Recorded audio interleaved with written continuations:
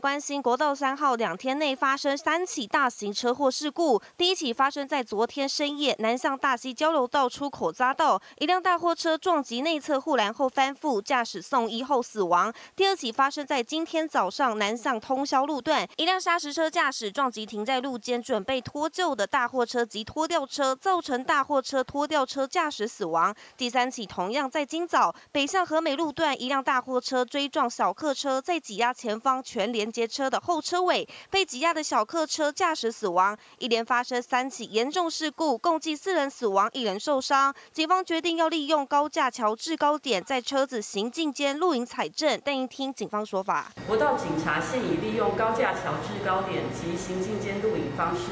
针对未保持安全距离、任意变换车道、使用手机及其他电子产品等违规进行举发，呼吁用路人。开车应遵守交通规则，随时注意前方动态。国道公路警方分析，许多驾驶因长途行驶、喝水、捡东西或看手机，和前方车辆跟太近，等到要闪避时已经来不及。提醒民众行驶时切勿分心，应随时注意车前状况，避免亮出意外。